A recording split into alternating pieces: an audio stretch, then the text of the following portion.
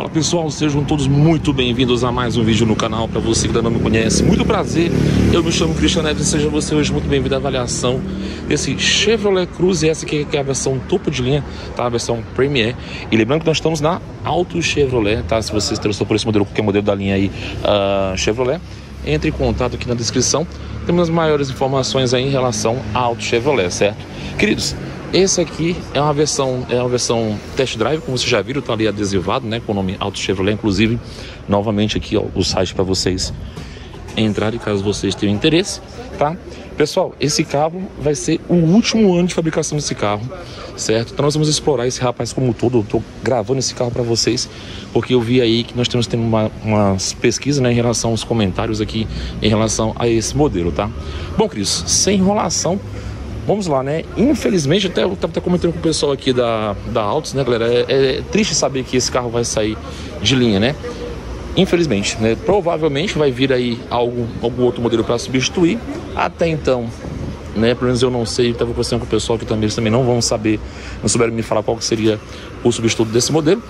Mas vamos lá explorar esse carro para vocês e no final eu vou falar para vocês quanto está custando essa versão, tá? No caso seria a versão do último ano desse carro, uh, ah, para você ainda pedir ele 0 km ainda, está disponível esse ano ainda, certo? Mas vamos lá. Bom, a gente percebe que a capa, vamos dizer assim, né, do retrovisor é na cor da carroceria, temos repetidor de setas, detalhes no cromado que vai da coluna A, com detalhes aqui no preto fosco, e vai até a coluna C, né, literalmente, vidros aí na cor verde, tá pessoal? Não é, é a película. As colunas de porta no preto fosco. Esse aqui é um 23, temos um pezinho aqui no início, tá? Detalhes também em relação às maçanetas que são na cor do, da carroceria com detalhes em cromado. Então você tiver com a chave no bolso, você pressiona aqui, ele tanto fecha como abre também a porta, tá? Uh, a antena de teto do tipo palito, temos aqui, pessoal, é, não, vamos, não, vamos, dizer assim que seria bem um aerofólio, mas um detalhe aqui que fica uh, dando aqui um destaque no brake light. Olha só. Tá? E detalhes ele é no preto brilhante. Temos ainda desembaçado do vidro traseiro. As lanternas traseiras vão ser com máscaras escurecidas e como disse para vocês, é, versão, é um cruze, é um motor turbo, a versão topo de linha que é a Premier. Detalhes aqui uh, na tampa do porta-malas em cromado. Sensor de estacionamento traseiro também nós vamos ter. Tá? Inclusive, inclusive esse carro vai contar com Easy Park, né? Que é aquele sistema de é, estacionamento semi-autônomo, digamos assim. Ante é, câmera de ré. Eu ia falar antena de teto, mano. O que, que tem a ver antena de teto? Antena de teto ali em cima. Aqui é câmera de ré. aqui a traseira desse rapazão como um todo.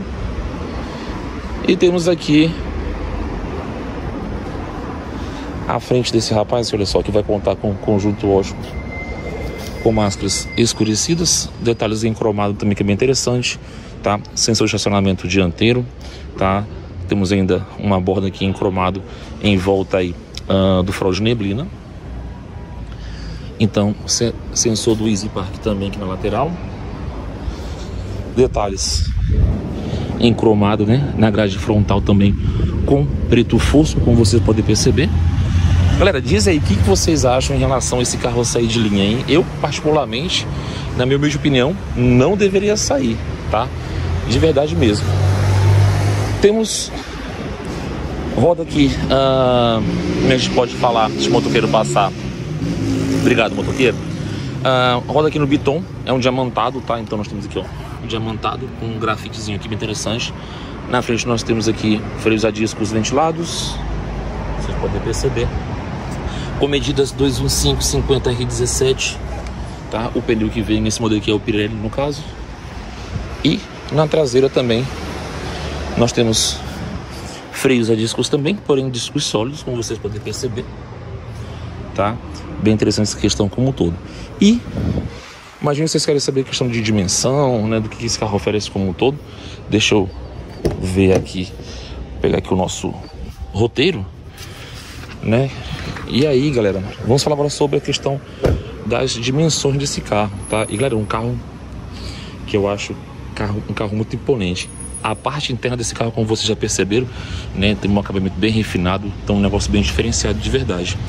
No que diz respeito à questão de comprimento, tá? Dimensões, tá? Então, comprimento nós vamos ter aqui 4 metros e 665 milímetros, largura 1 metro 807 milímetros, entre eixos 2 metros e 700 milímetros, altura 1 metro 484 milímetros, o peso desse rapazinho aqui de aproximadamente 1.315 quilos, tá bom? Suspensão independente uh, Mac Perso na dianteira.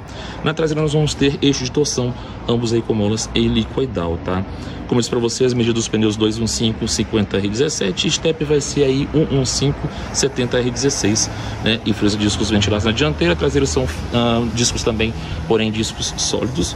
Temos ainda sistema de freios com ABS, sistema de distribuição de frenagem, né, que é o EBD, e também assistente de frenagem de urgência aí, que é o PBA, tá bom? Sobre itens de série, né, o que, que esse carro nos oferece em relação a itens de série. Vamos lá para vocês neste momento. Então, olha só, vou pegar aqui essa parte diagonal que ficou bem legal aqui a imagem. Temos aqui um carro com 6 airbags, tá? alarme anti-furto perimétrico, controle de estabilidade de tração, faróis aí com regulagem de altura e assistente do farol alto, alerta de colisão frontal, monitoramento de pressão dos pneus, assistência de partida em rampa, alerta de ponto cego, alerta de mudança de faixa. Inclusive nós temos sensores aqui, ó. E vindo aqui para a parte traseira, deixa eu pegar aqui, ó. Aqui nós temos um espaço melhor. Olha só, Vamos encontrar ainda a frenagem automática de emergência, chamada de assistência de emergência, assistência de recuperação veicular, assistência de estacionamento semiautomático, que é o Easy Park. Nós temos sensores que ficam nas laterais uh, do para-choque, tanto aqui no traseiro como também no dianteiro. São os sensores. Aqui, ó. Mais aqui. E Continuando aqui, pegando essa parte aqui, diagonal traseira aqui do carro.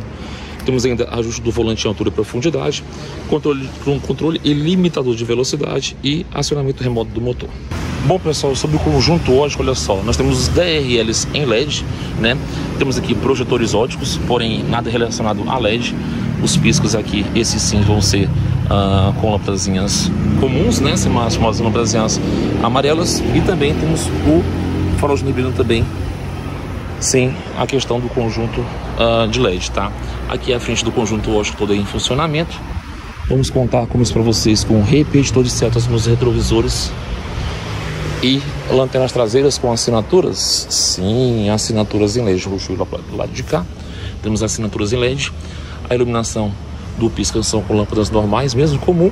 E a iluminação do, do, do, da placa, no caso, né, em LED, como você pode perceber.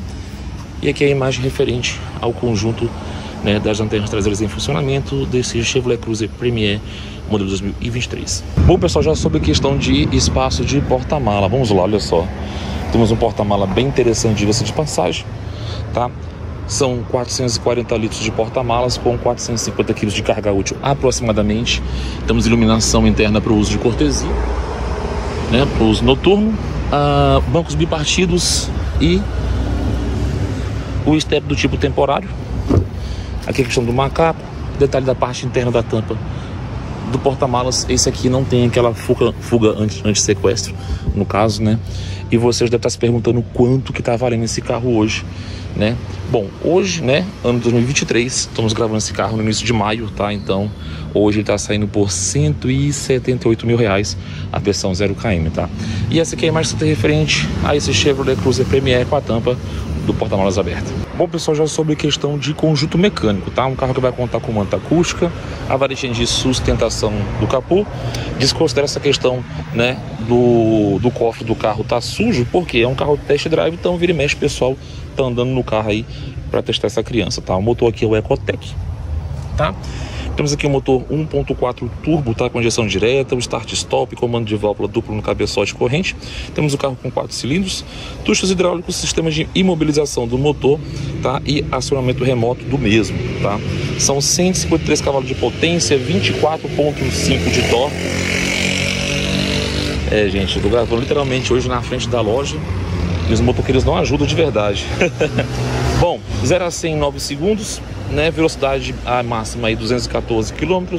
O câmbio tá é um câmbio automático, né? Que a Chevrolet intitula ele como GF6 de 6 velocidades, com conversor de torque. Temos também com opção de troca de, uh, de marcha aí manual, tá? Que é o Active Select.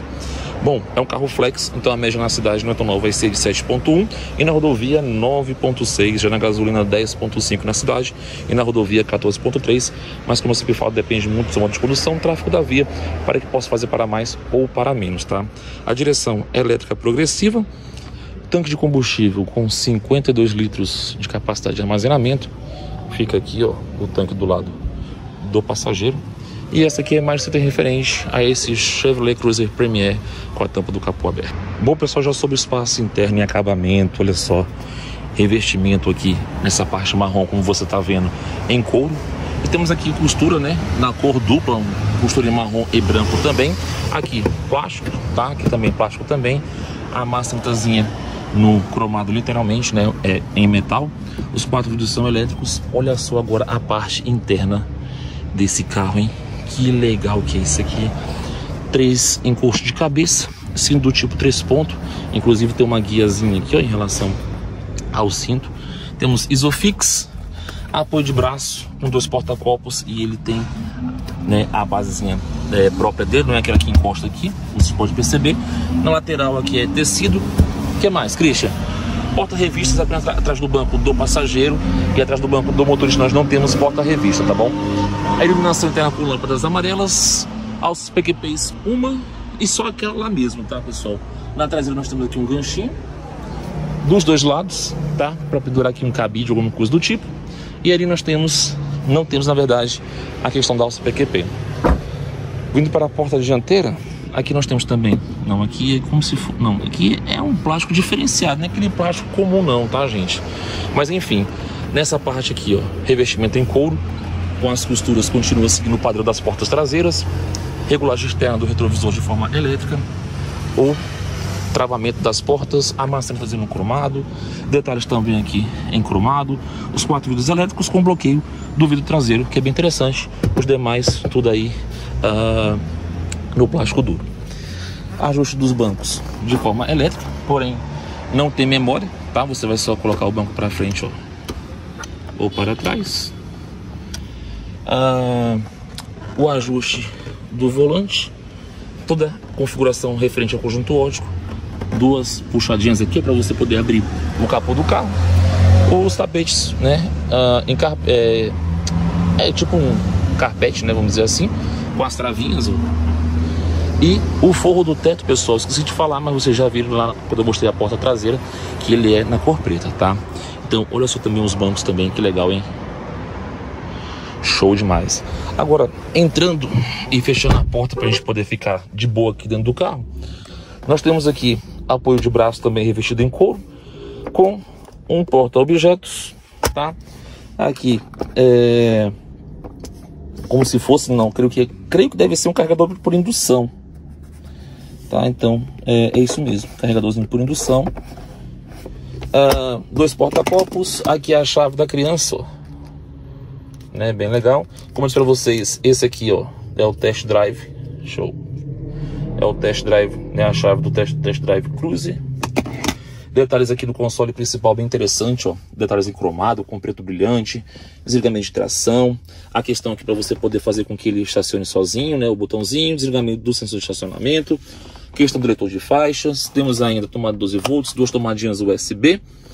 O painel dessa criança, olha só que legal, vocês me cobram muito essa questão de mostrar a parte interna do carro, né? Então nós temos aqui volante multifuncional, revestido em couro, detalhes aqui atrás, ó, os comandos referentes ao som do carro, alavanquinha referente nos átomos baixos das setas e aqui a alavanca referente no todo de para-brisa apenas, tá? O painel, né, aqui nessa parte onde estou passando a minha mão, ele é revestido em couro, como vocês podem perceber. Aqui, deixa eu ver. Não, aqui também é couro também. Couro também. Enfim, toda essa parte marrom que você está vendo aqui, toda ela é revestida em couro, tá? Olha só o painel da criança, iluminação interna com lâmpadas amarelas, tá? O quebra-sol com espelho e iluminação, o patrão e para a patroa também, espelho e iluminação também suave na nave, tá? O porta-luvas, daquele que desce bem devagarinho, tá? Ele é iluminado, mas não tem nada de revestimento tecido, alguma coisa do tipo. Dutos de ventilação são quatro, com as bordas em cromado, tá? Aqui é detalhes em cromado e aqui sim vai ser 100% com a borda em cromado, tá? Bom, vamos ligar essa criança, vamos acordar essa criança. Eu vou puxar o zoom aqui para vocês, focar. E aí, ó, temos o botãozinho aqui do Start Engine Start Stop. Então, focando aqui para vocês. Então, olha só o painel do carro. Ele está acusando que os pneus não estão calibrados, né? Verifica a pressão dos pneus, tá? Então, uh, isso aqui, inclusive, já, tá, já até falei com os meninos para ele poder dar uma olhada nesse aqui depois, com mais calma. Bom, temos aqui ainda a questão do RPM, o tanque de combustível que está praticamente cheio, né? Digamos assim, deixa eu puxar o zoom novamente para vocês. Praticamente cheio. Líquido de arrefecimento, o velocímetro e aqui o computador de bordo, tá? Bom, aqui já em relação ao multimídia, né? Temos a multimídia bem completinha, né? Com Apple CarPlay e o Android Auto. Roteador Wi-Fi também, né? Ele vai ter. E aqui os aplicativos, né? Ah, deixa eu cancelar aqui. Aplicativos. É, precisa de conexão. Como não tem nenhum tipo de conexão próximo aqui a ele, né? Dá esse erro. Então, configuração. Temos tudo relacionado às linguagens, né? De, da, da multimídia que você pode estar tá utilizando, no caso. Uh, então, os que já foram conectados, inclusive, os, os celulares, né? Enfim. O que mais nós temos aqui? Uh, roteador, privacidade, tela, alertas, voz, atualizações, né? Sobre preferência, restauração, aplicativos, Apple CarPlay e Android Auto, né? Como vocês podem perceber. Mais Chevrolet, veículos, enfim, né? Um carro bem completinho, diga-se de passagem. Não vem com GPS embarcado, tá, pessoal? Já também uh, é bom te ressaltar. E essa aqui, né, é a imagem que você tem referente ao interior desse Chevrolet Cruiser, né, que hoje sai por aproximadamente 178 mil reais. Tamo junto aguardo vocês para o próximo vídeo no canal. Bom, pessoal, você acabou de ver em riqueza de detalhes, né, o que provavelmente deve ser o último carro que nós vamos estar gravando aqui, que é o Cruze, né, no caso, porque está sendo de linha esse ano. Se chegar alguma outra versão aqui, 0K, a gente vai gravar. Eu tô gravando esse carro para vocês porque eu percebi que tá tendo muita pesquisa no nosso canal em relação a, a essa, esse modelo. Por isso que eu tô gravando, inclusive, gravei o test drive aqui na Auto Chevrolet. Se você se interessou, inclusive, por esse carro, você pode entrar em contato com o pessoal pessoal da Auto Chevrolet aqui de Uberaba. As informações você vai encontrar na descrição aqui abaixo, certo? Se você é novo por aqui e quer para que não é inscrito no canal, se inscreva no canal, ative o sininho para as notificações, deixe seu like que ajuda muito e seus comentários como um todo em relação à nossa avaliação. Links da Amazon, no primeiro comentário fixo aqui, então você vai encontrar links com desconto, inclusive links com desconto de acessórios para o seu carro, certo? Bom, meus amigos, agora sim, estamos juntos demais. Deus abençoe cada um de, cada um de vocês e fiquem todos com Deus e tchau, obrigado.